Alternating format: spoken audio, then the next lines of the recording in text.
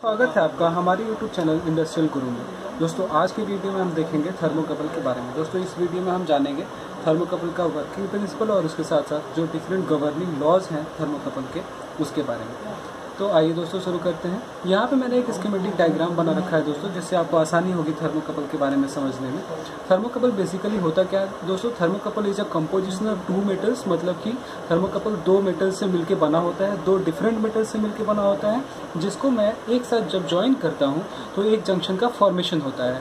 तो यहाँ पे एक जंक्शन बन गया और यहाँ पे भी वही सेम दो मेटल को मैंने यहाँ पे ए और बी मेटल जो है, इसको मैंने यहाँ पे कनेक्ट कर रखा है।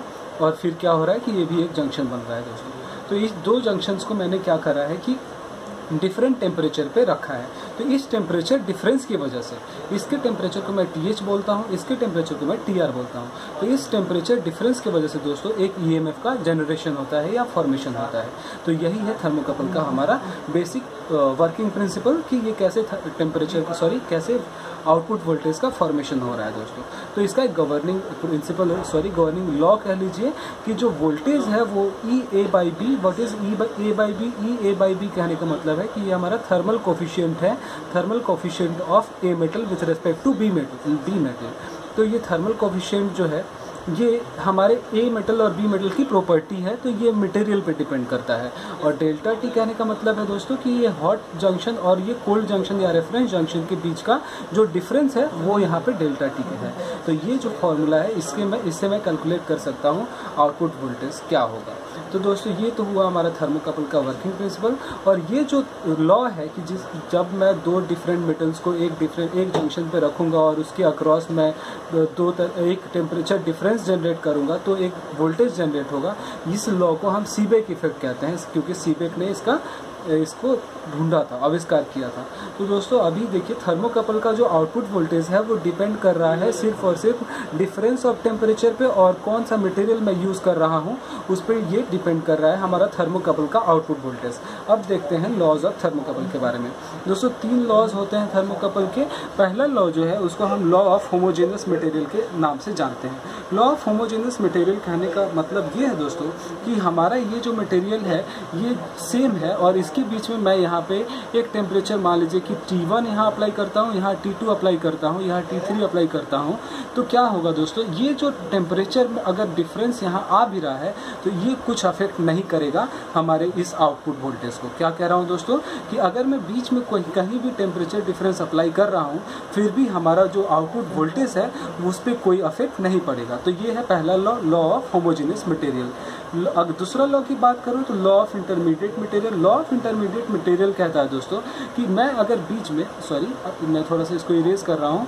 अगर मैं बीच में यहाँ पे कोई एक तो तीसरा मेटल यूज़ करूँ मेटल सी कह के तो ये मेटल का, के अक्रॉस अगर मैं टेम्परेचर T1 और T2 दे रहा हूँ तो हमारे वोल्टेज को ये अफेक्ट करेगा आउटपुट वोल्टेज को ये अफेक्ट करेगा, ये मेटल सी तो ये हो गया अपना लॉ ऑफ़ इंटरमीडिएट मटेरियल अब तीसरा लॉ है कि क्या है दोस्तों, कि लॉ ऑफ़ सक्सेसिव और इंटरमीडिएट टेम्परेचर ये कहने का ये मतलब है दोस्तों कि अगर मैं सॉरी दोस्तों, अगर मैं ये, मान लीजिए कि ये अपना T1 टेम्परेचर है, ये T2 टेम्परेचर है, ये अपना एक मिनट दोस्तों।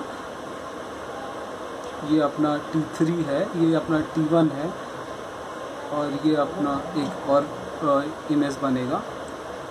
ये इसको आप ऐसे समझ सकते हैं कि सुपर पोजिशन टाइप का ये लॉ है, काफ़ी इजी है टी टू और ये टी थ्री तो दोस्तों, कहने का ये मतलब है कि ये T one T two same ही मेटल है मेटल ए और मेटल बी सॉरी दोस्तों मेटल ए मेटल बी ये भी ए और बी और ये भी ए और बी तो अभी क्या हुआ दोस्तों कि जो T1 T2 के बीच का जो, मान लीजिए कि हमारा जो आउटपुट वोल्टेज आया, उसको V1 नाम दिया T2 T3 के बीच का जो वी टू सॉरी जो आउटपुट आया, उसको V2 नाम दिया, और ये T1 T3 को मैंने V3 नाम दिया तो दोस्तों कहने का ये मतलब हुआ कि जो V3 होगा, वो V1 प्लस वी के बराबर होगा। समझ पा रहे हैं दोस्तों? कहने का क्या मतलब है कि जो आउटपुट है उसको मैं सम करके भी लिख सकता हूँ। जो देखिए, अगर मैं T1 और टी T3 आउट T1 और T3 टेम्परेचर डिफरेंस अप्लाई करता हूँ सेमी मेटल के बीच में तो हमको V3 मिल रहा है। और मैंने यहाँ पे क्या किया कि एक बार T1 T2 किया अप्लाई फिर नेक्स्ट टाइम में T2 T3 अप्लाई किया। तो इस दोनों का जो सम है, वो हमारे इस V3 के बराबर आएगा। तो ये है हमारा तीसरा लॉ दोस्तों। अभी अगर आपको और भी कुछ डाउट आ रहा है, अभी थर्मोकपल के लॉज को रिलेटेड कि ये कैसे आते हैं, कैसे प्रूफ किए जाए इनको तो मैं आगे आने वाले वीडियो में अगर आप चाहें तो मैं डाल दूँगा। और तब तक के लिए ये जो इंपॉर्टेंट पॉइंट्स हैं कि ये कहाँ, किस प्रिंसिपल पे काम करता है, किस इफ़ेक्ट पे काम करता है थर्मोकपल हमारा सीबैक इफ़ेक्ट पे काम करता है। तो ये अभी तक के लिए जो आपके इंटरव्यू पॉइंट ऑफ़ व्यू से देखा जाए तो इतना ही इंपॉर्टेंट पॉइंट है दोस्तों। आगे अगर आपको कुछ और जानना है इस वाले वीडियो से रिगार्डिंग तो हमारे कॉमेंट बॉक्स में प्लीज़ कॉमेंट कर दीजिए, मैं उस पर वीडियो बना दूँगा। थैंक यू दोस्तों।